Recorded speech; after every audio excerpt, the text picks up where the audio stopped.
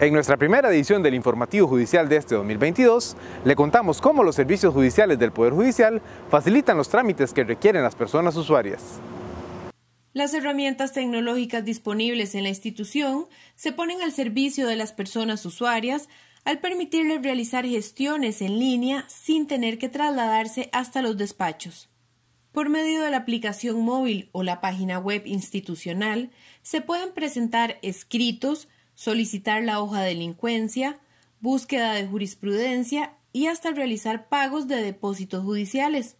Solo deben de contar con un usuario y una contraseña que se solicita en cualquier despacho judicial del país. Eh, van a estar disponibles eh, los servicios normales, ¿verdad? Que, que, con que dispone el Poder Judicial, por ejemplo, la consulta de jurisprudencia y de documentos administrativos a través del del buscador Nexus PJ y tenemos también el nuevo sistema del Observatorio Judicial que está disponible en el sitio web del Poder Judicial donde se pueden consultar diversos indicadores eh, sobre el funcionamiento del Poder Judicial.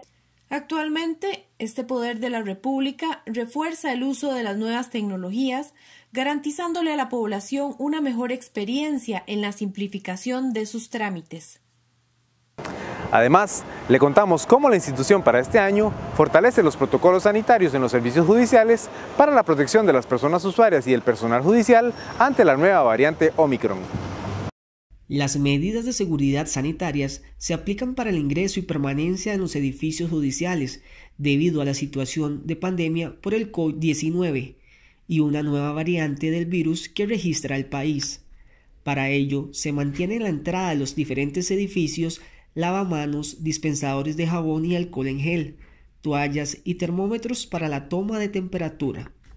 Se recuerda a las personas usuarias y a la población judicial que al ingresar a las instalaciones judiciales deben de lavarse las manos con agua y jabón y aplicarse alcohol en gel.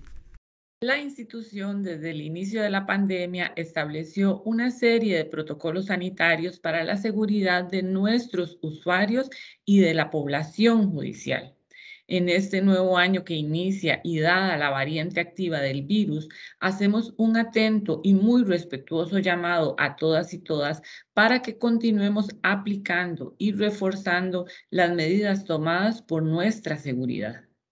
Además, se reitera la obligación de utilizar en todo momento la mascarilla y respetar el distanciamiento social debidamente demarcado en las oficinas y despachos judiciales el Poder Judicial garantiza la continuidad del servicio en apego a los protocolos sanitarios.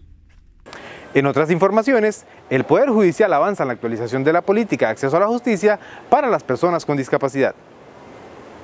Brindar un abordaje integral a los requerimientos de las personas en situación de discapacidad es el objetivo principal de la actualización de la política de acceso a la justicia y de equiparación de oportunidades dirigida a esta población, mediante la eliminación absoluta de las barreras se pretende garantizar que esta población se desarrolle en igualdad de oportunidades conforme a la normativa nacional e internacional de los derechos humanos. En el acta constitutiva del proyecto planteamos un cambio en el nombre y evidentemente en los alcances y contenidos, entregables, tareas, etcétera, em, para que la política se llame política de acceso a la justicia y de equiparación de oportunidades de las personas en situación de discapacidad.